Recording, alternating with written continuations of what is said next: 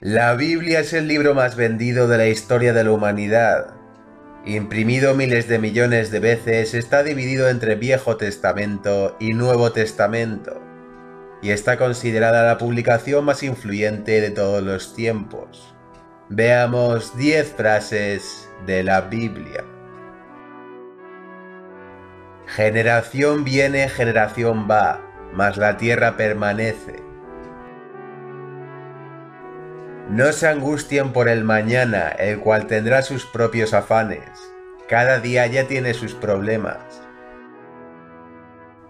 ¿De qué sirve ganar el mundo entero si se pierde la vida? Quien se conduce con integridad anda seguro, quien anda en malos pasos será descubierto. Lo que antes tenía por ganancia, ahora lo tengo por basura. Maldito el hombre que confía en otro hombre. Nunca preguntes por qué todo tiempo pasado fue mejor. No es de sabios hacer tales preguntas.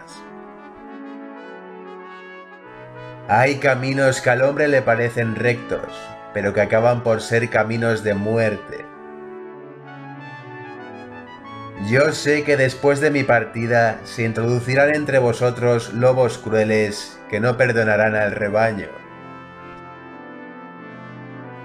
Por haberse multiplicado la maldad, el amor de muchos se enfriará,